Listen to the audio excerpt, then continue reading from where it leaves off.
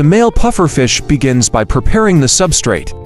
At the chosen nesting site, this preparation may involve clearing away debris, creating a depression in the substrate, or arranging the substrate in a specific manner. The goal is to create a suitable environment for egg deposition. The male uses its mouth and body to move and arrange substrate particles to form a nest structure. This process can be meticulous, with the male carefully shaping the substrate. To create a depression or pit, some pufferfish construct relatively simple nests, while others may build more elaborate structures.